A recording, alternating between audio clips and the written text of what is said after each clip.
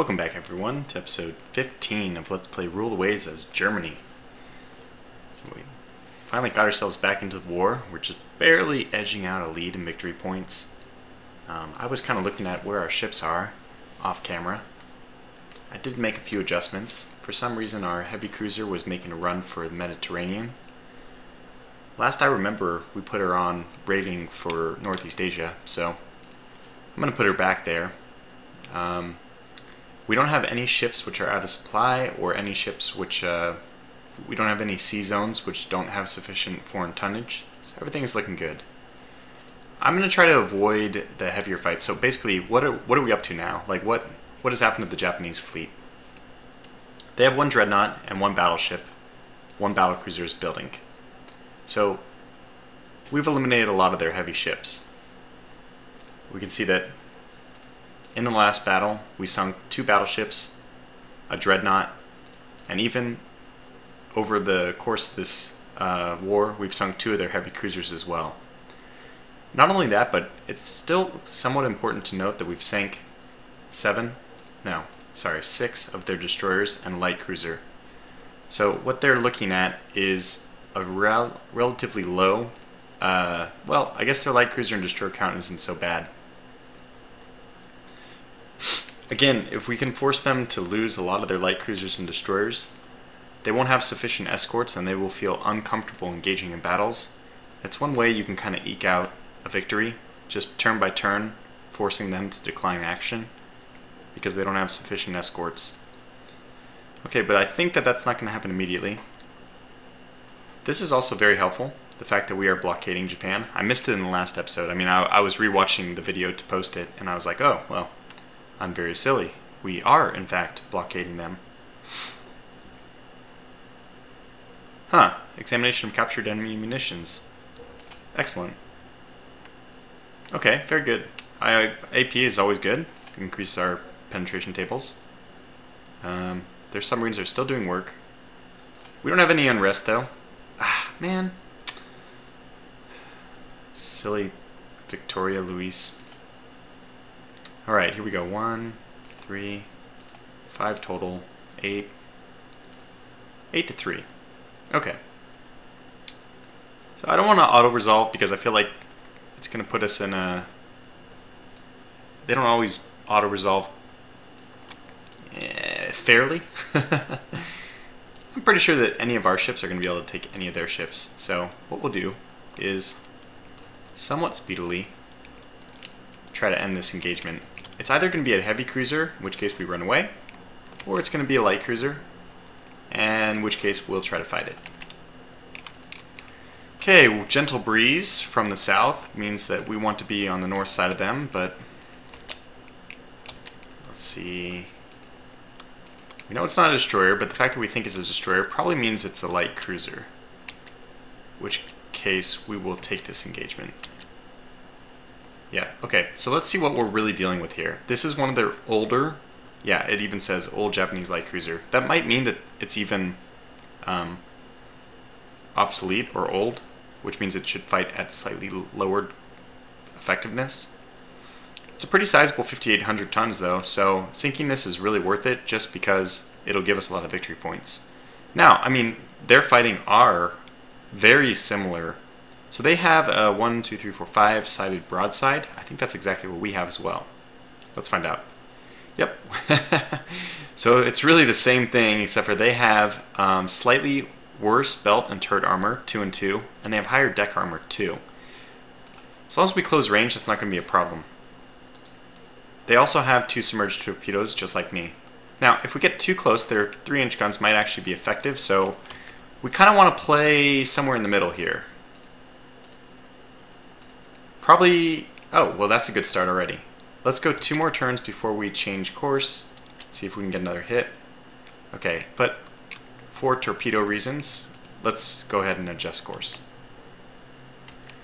Two, three, and switch back. One, two, three. I, I find that um, whenever the torpedo hits, whenever I get torpedo hits, it usually is my own negligence that I wasn't switching every three. Okay, belt extended. Ooh, ooh, well that's not good. Hopefully that's not the ones on the firing side. Unfortunately it is. So they reduced our firing turrets by one, unfortunately for the time being. Hopefully our superior ship, like crew, will still give us some hits. Good. Okay, they're obviously locked in on us. Unfortunately, we're kind of conceding the wind, and there is a, a breeze. Let's fight that back. Okay, two more hits. This is three. Now we have to turn. We're so close, I'm actually going to turn after two.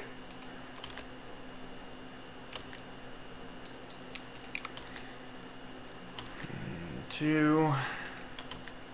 One. Two. Okay, good. We're still getting a lot of hits on them. It says light damage, which you can probably say equally about us as them. Actually, our damage percent is pretty low, only 8%. Shoot, I don't remember when's the last time we turned. Oh, well. Getting turrets which are destroyed is not good, especially if it's the front turret. Uh, I mean, the important thing I'm trying to weigh here is that their armor is less. Now, they have extremely high conning tower armor. Yeah, so we won't have much success if we hit their conning tower, but Oh, I guess we are launching torpedoes. Okay, since we're launching torpedoes, let's back off. We don't want them to change course, which they already have, so let's switch back. And it's like they know. it's kind of silly how they just somehow knew my torpedo was coming at them. They don't, you know, have any kind of volatile action the whole time, and then my torpedo comes at them, and suddenly they're ducking and dodging all over the place. Hmm. Well, we're only able to bring five, uh, three of our turrets to, to bear now. If I was able to switch over to the other side, that wouldn't be the case, but we'd get four at least. But, okay.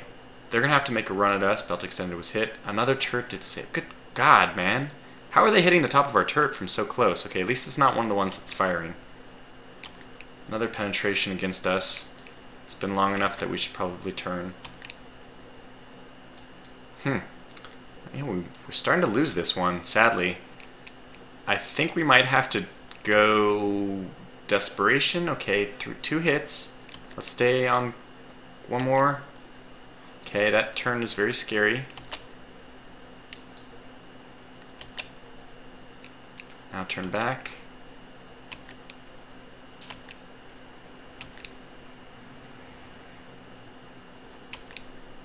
I don't think they can fire a torpedo at such an oblique angle.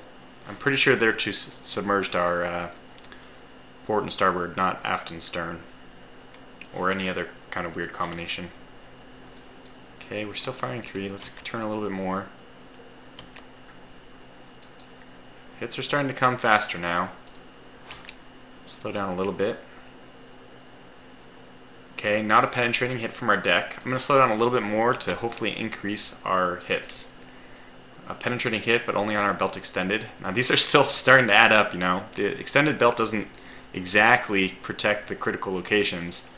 Uh, so it's not like a penetrating hit there is the worst thing ever, but it still can add damage over time. Okay, still, we're racking up quite a few hits here. Alright, let's turn back to... This is actually good. We can get to our stronger side. Uh, we have a turret. Never mind. We have a turret disabled on that side anyway. So. Okay. Splinters, perforated uptakes. Two more hits. We're firing very handicapped in terms of guns here. We've destroyed one of theirs. It looks like we've limited them to a three-sided broadside as well. Okay, this is a bad angle for us. Let's pull up just to avoid torpedoes. But they do appear like... Is that fire? Aha. Uh -huh. Yeah, heavy damage and on fire. Okay, good. So we probably won this one. Let's just go ahead and do some more dodging around. Make sure we don't get hit by a torpedo here. Ah, whoa. Do you see that? Oh, launching torpedoes. I thought it said she was avoiding torpedoes. And that's a torpedo hit. Perfect. Okay, good. So we took medium damage, but we'll take the victory. It's just going to increase our lead a little bit. Ooh, wow, we have a lot of things here. Okay, so I couldn't find it last time. I don't see the blockade information here, in fact. Okay, I'm trying... Look at it. I'll even arrow through each one at a time. Okay, London class. They're scrapping. Battle cruiser. Japan. Scrapping. Ah, so there's some rebuilding going on. Okay, so very interesting. If this is a ship class, oh, this must be an old ship class though, because that's a really terrible belt. really terrible USA. Come on. Okay. Okay, well, I don't see any uh, blockade. We don't see the blockade information here. Let's find out why that is. Oops. Yeah, it's because all of our dreadnoughts are being repaired. well, that would explain it. Okay, well, let's push on to the next turn then. Oh my gosh, we are not having much luck, are we? Now we don't even have enough tonnage on foreign stations, and we just got really decimated. Okay, this is a convoy attack. We have one of our dreadnoughts left uh, back, but those usually don't engage in the convoy attacks. Still, I feel like I should decline this just because let's get all of our forces in position. So it's going to take one more turn before our other dreadnought is back, and we'd rather attack with a, a full complement. okay, let's sort by location actually. So, Northeast Asia, what do you have in it? One raider. I'd really like to up that to two. Oh no, the nymph has disappeared. That's why we have a foreign tonnage shortage.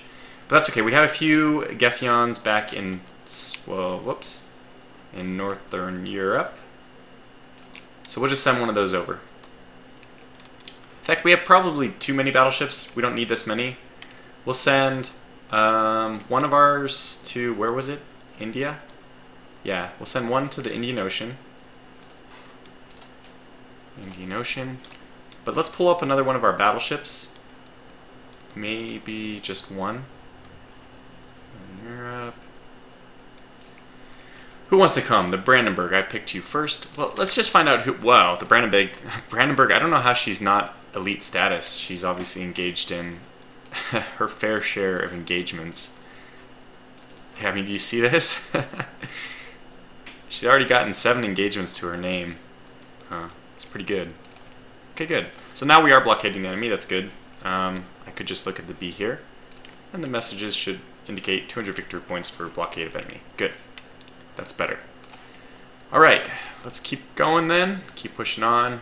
The Indian Ocean should be fixed. In fact, now I probably have to set somebody temporarily to foreign stations. Let's look at somebody in Southeast Asia. Uh, yeah, so I'm just going to pretend that this one is now on foreign station. And that'll satisfy for one more turn. Okay, we're helping the French more. Why wouldn't we? Another convoy attack. Now we're in a better situation. Oh, did they complete their battle cruiser? That would be problematic. We'll jump in anyway. Okay, good. So it's not, it's just a destroyer. So we do have a support force, which is a little strange. But where are we headed here? Do we have control right away? No. I kind of like it when we don't have control right away, because that means we should just run into the enemy immediately. There it is. Okay, so they're that way. These are pretty good destroyers. They carry a real sizable complement of torpedoes. Wow. This is apparently a veteran as well. V4, I don't... Well, I don't really pay attention to my destroyers, to be honest, so I'm sure that's actually true. So let's let them get 26 so they still maintain formation. That allows the rear ones to catch up just in case they start falling behind. We will continue with the line ahead.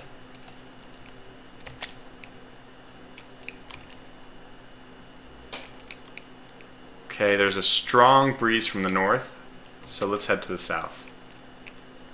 Okay, we have a... That does not look like a transport ship. That thing is a destroyer if I've ever seen one.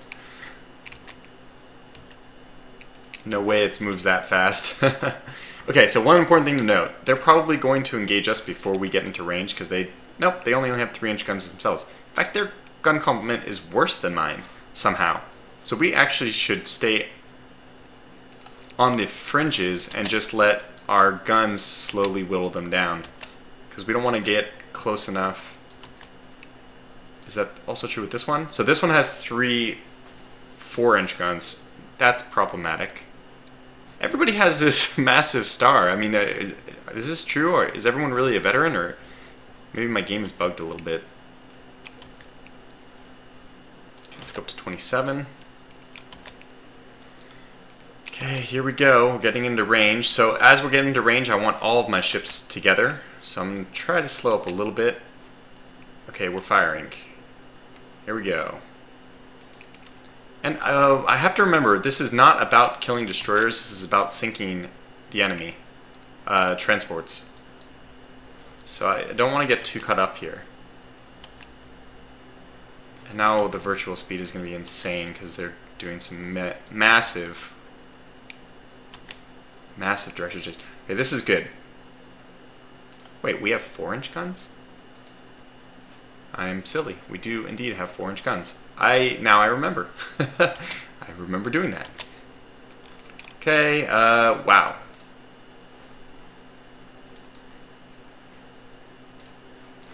Lots of ships. So what I'm going to do is turn off the firing of torpedoes for the time being. When we're engaging destroyers, that's just a total waste of our torpedoes. So let's just go ahead and do some brief engagement with this destroyer. If we can sink him, that's fine. But really, we, we need to get involved. They could just be screening against the main forces here. If, if I was in a, if I was the actual person defending a convoy, this is what I would do too. Push their ships away. Okay, another hit. Any one of those four-inch hits could be Unidentified ship fires. Well, it must be over here then. So we'll look over there. Okay, here's the transports. Yeah. Oh, we're actually headed right at the transports. Okay, good. That's good to know. Need my log back. MS fires an unknown ship. Oh, so minesweepers are involved too. Wait, are we sure that's all I have? Yeah, I only have... What supposedly is right here. Oh, there I am. There's my DDV-5. Which, unfortunately, it, if it's sunk, yeah, this is insane. Everybody has seven stars. Uh, this will really be the, yeah, okay, there's definitely some kind of bug. That's unfortunate. I was getting excited. I thought my ships actually were, you know, that powerful. Okay, so let's see what the AI does to try to sink my own ship. Because that is one of my main, you know, um, on map or actual units. It's not one that's just generated for this mission. If that's sunk, I do lose a, an actual destroyer on the campaign, campaign map. Okay, that's a good torpedo. These two, not. You're a crazy. What are you doing? For the love of God, man. So we're going to have to babysit this guy.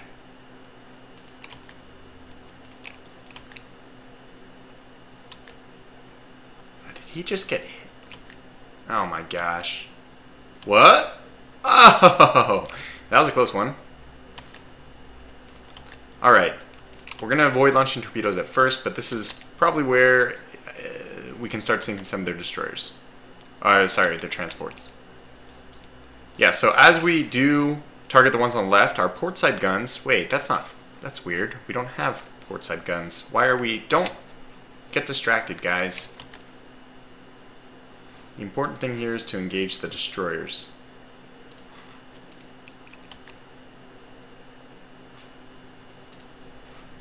Okay, the coal bunkers, the only part of our destroyers which is armored, has um, saved us a bit. And this is really dangerous.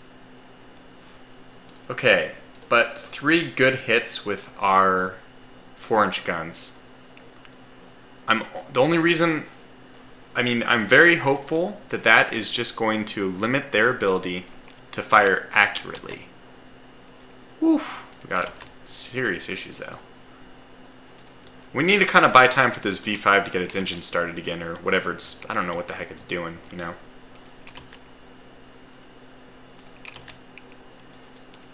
Okay.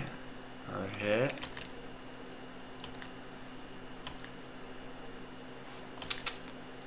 Wasn't penetrating, though. This would be kind of a fun engagement to watch. You can imagine these destroyers just circling around.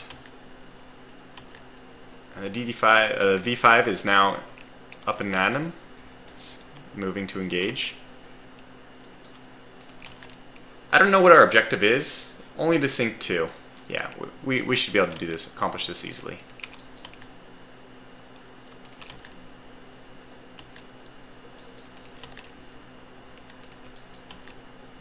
Okay, do I have to remind you to please target the destroyers?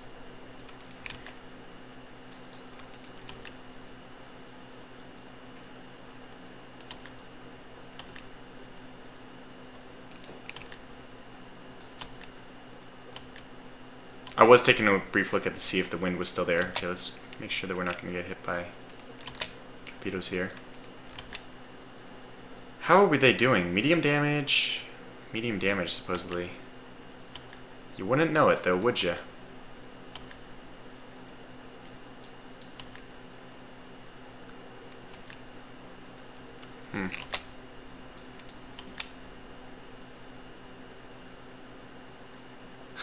V2 class. Oh, that's my guy. Okay. Well, they've run us pretty far away. I'm okay with that to a small degree.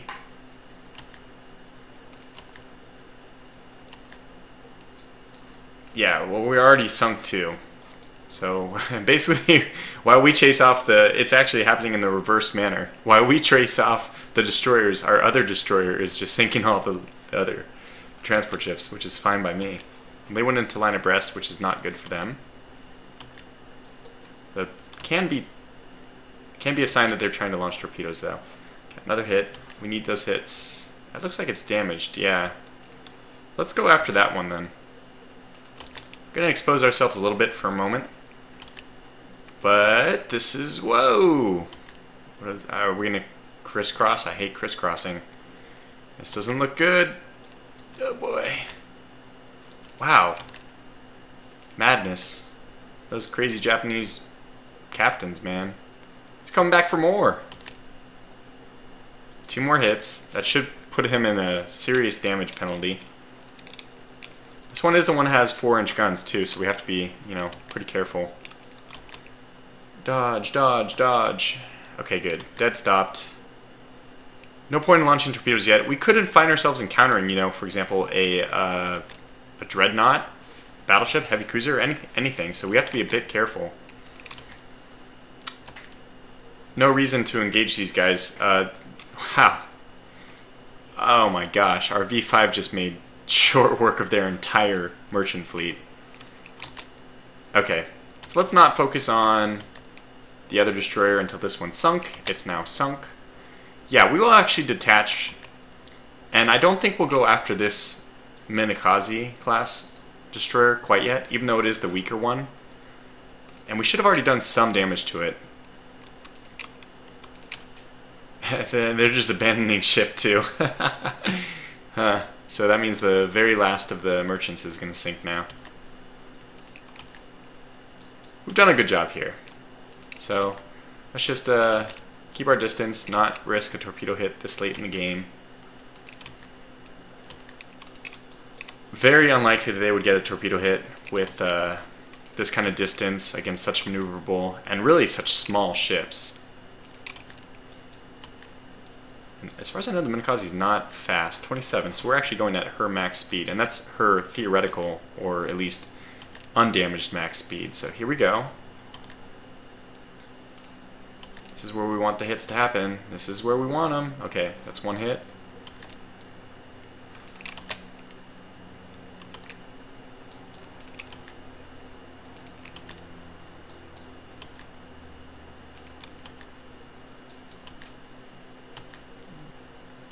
After this, we might actually go on a, a bit of a chase for their other ship.